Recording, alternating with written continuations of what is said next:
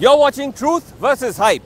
There is an eerie silence over Manipur, which has witnessed the least number of killings in its decades long insurgency in the year gone by, 2014. But the calm may be deceptive.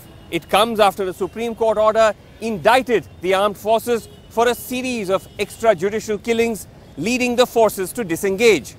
But those fighting for justice, for the victims of fake encounters, say that as long as the men in uniform who killed unjustly remain unpunished, peace may only be an illusion.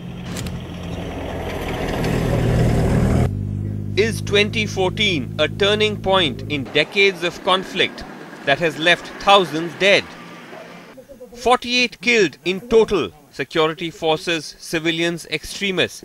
The lowest ever, a dramatic drop from 485 in 2008.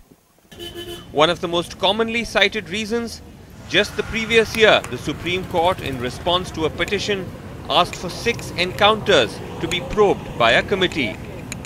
What they found was damning. The commission consisting of uh, Mr. Lyngdoh and Ajay Kumar Singh and myself, uh, after holding an inquiry, we came to the uh, conclusion that uh, the, all the six encounters uh, were not really encounters, it was actually out and out murder. Uh, this was only a facade to show that it was an encounter. The result, a self-enforced slowdown. Good or bad, when something is put to scrutiny, uh, he will be taken back as a human being. So that uh, definitely works on the security forces psychologically. What their morale is down at the morale uh, is little little on the lower side. Uh, so that's one of the reason why uh, the you did not find any of the major incidents that are happening. No one can have a quarrel with the reduction in violence, but the absence of any visible attempt to investigate those allegedly involved in fake encounters, some say, has led to the perpetuation of the culture of impunity which has led to fresh violence. In the rural edge of Imphal, the home of Gobind, 25 years old. On an April evening in 2009, he left home with his cousin Nobo. The family learnt of their bullet-riddled end the next morning. जो media में news में सुना है कि दो boys वो ग- ग- ग- मर गया है जो फेक इनकाउंटर में अच्छा उससे पता चला हाँ उससे पता चला The official version a team of Manipur police commandos and the army's Assam Rifles rushed to the games village at the heart of Imphal where they claimed militants were spotted. The militants they claimed fired at them.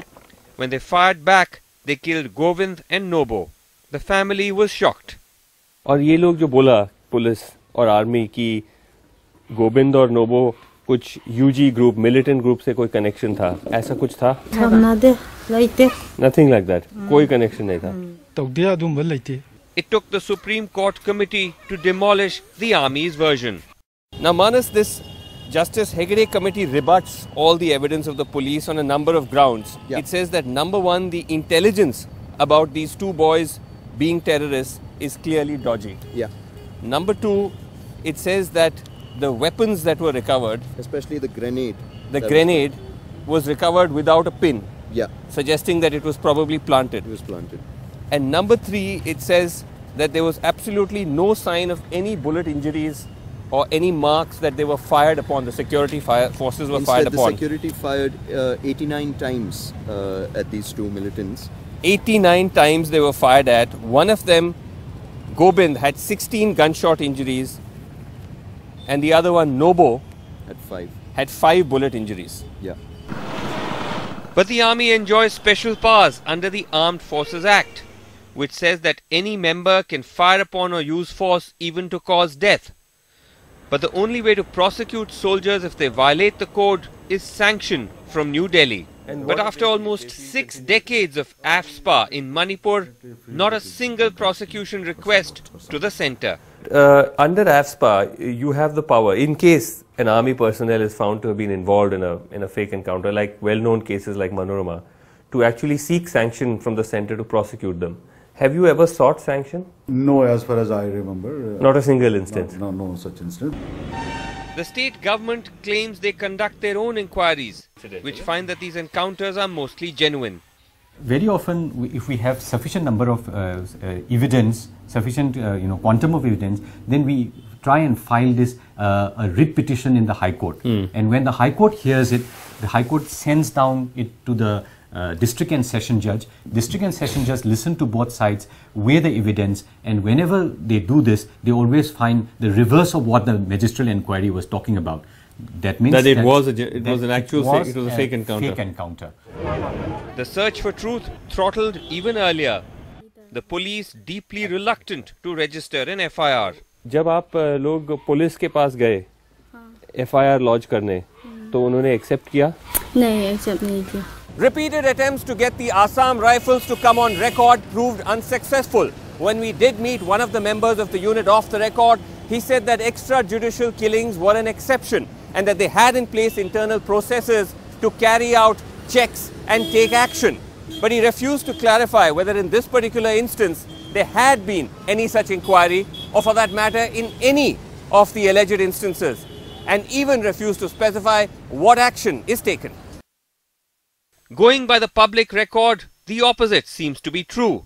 Four months after Govind and Nobo were killed, the officer in charge, Major D. Sriram, awarded the Ashok Chakra, the army's highest peacetime honor. The citation says he delivered hard blows to the activities of terrorists in Manipur. There is no question that when you have an, an establishment and an environment where security forces are ruling the roost and where there is no sense of a political settlement, a need for a dialogue with the locals, the need to win over the locals, you will have situations where the security forces manipulate the situation in order to bring themselves benefits. And we are talking specifically here of medals, of field service seniorities, of promotions, and so on. The claim that extrajudicial killings are an exception remains contested in the absence of credible data.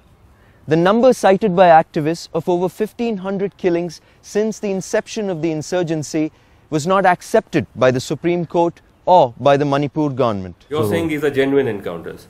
We, these are genuine encounters as far as we are concerned, and the, our facts are put before the Supreme Court. Now it is up to the Supreme Court to take a call on this, and it's pending for judgment. But the Hegde Committee's attempts to get official data stonewalled.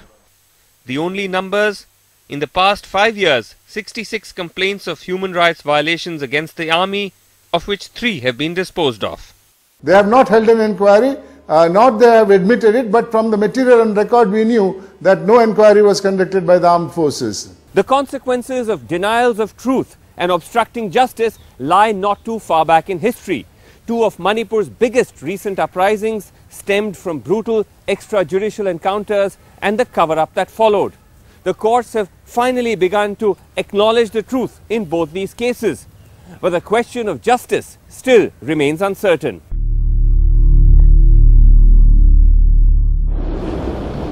In the village of Malom, the father of Shanti Kumar, his son killed 14 years ago as he waited at a bus stop. what happened say they got on their request without hearing hmm. they hands up and within a very short hmm. gun down Gunned both of them down. one of the, them The bullets fired by a convoy of Assam rifles who reacted to an IED set off by militants. The blast didn't injure them, but their retaliation gunned down 10. The army claimed they were fired upon.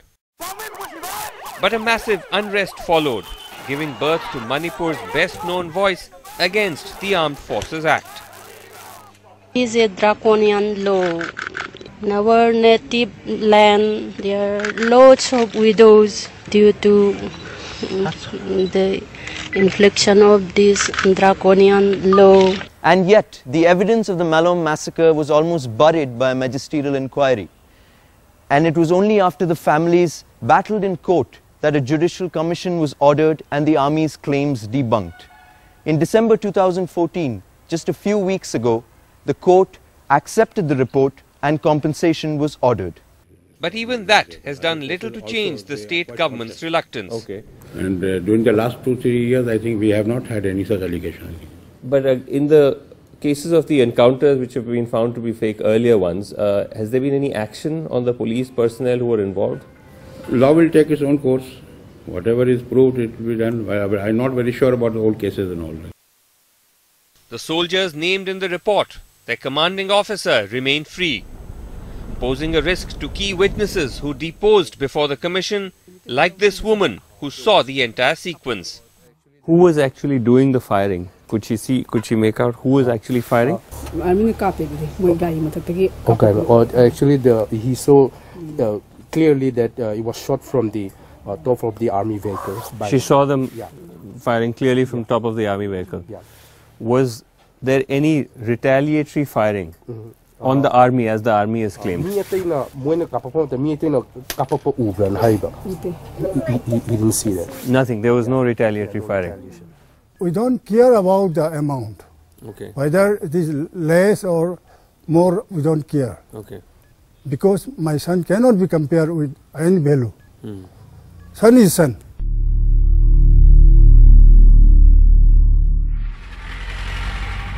Inside a police station on the outskirts of Imphal with the brother of Manorama. In July 2004, she was picked up from her home by the Assam Rifles on grounds that she was a bomb maker of the People's Liberation Army. Her bullet riddled body found a few hours later. The army claimed that when they allowed her to relieve herself, she tried to flee. Justice Upendra, a retired sessions judge, headed a commission appointed by the state government that exposed the army's claims. A number of allegations were made Eh. by the police and the army. Eh. Uh, the first was that Manorama was uh, some kind of a militant As they say, with the yes, in PLA. the PLA. Yeah. Was there any proof? No, that she no, was a no, militant? nothing of the sort. क्या काम करती थी दीदी मनोरमा ये ये जो यहाँ पे दिखाई दे रहा है इस तरह की कपड़ा चला बनाता है अच्छा ये वीविंग का काम करती थी हाँ जी they say that she was trying to run away Ah, and they fired at her legs ah, that's why. but what was the actual No, story They fired on these clo- these private parts. This is the this, they fired on her the- private ah, parts On medical report will reveal this thing. Where she and it was also firing from close range is firing from close range. And yet the army remains untouched. In fact, it's not even clear who took part in the encounter. I, I I send notice to them, hmm. then they didn't appear. Then I pick up their names from local papers, then I send notice to them, hmm. summons. hmm. they didn't appear They didn't appear. Then I say, whenever they refuse summons, then I say, the- under my power, the, the, when summons is refused, I can send warrant of arrest. Last only by the time they appear. When I issued warrant of arrest, only after an arrest Ah, warrant yes. after that they appeared Yes.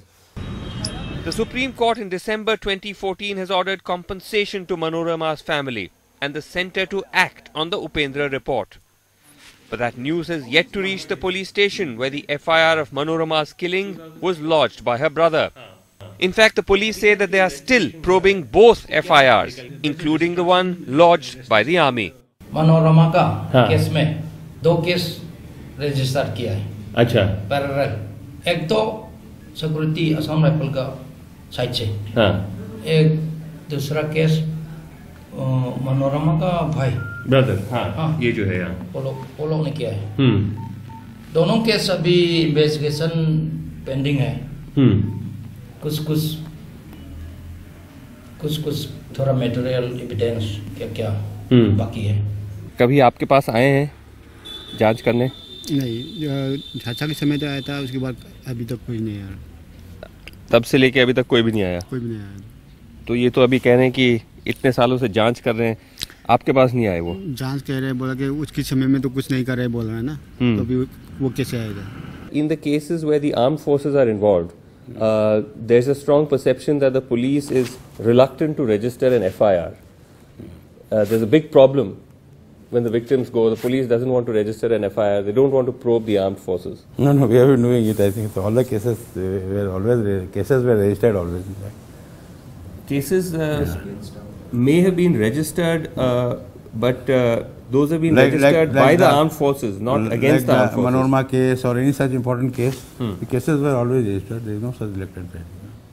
In the Manorama case, actually, the FIR has been registered against the armed forces, but that's No. all has happened. There hasn't, uh, there doesn't appear to be any progress on that FIR. Actually, these cases are National Human Rights Commission cases, and whatever are their instructions that have been followed. Coming up, if violence is on the decline in Manipur, why the reluctance to remove the Armed Forces Act?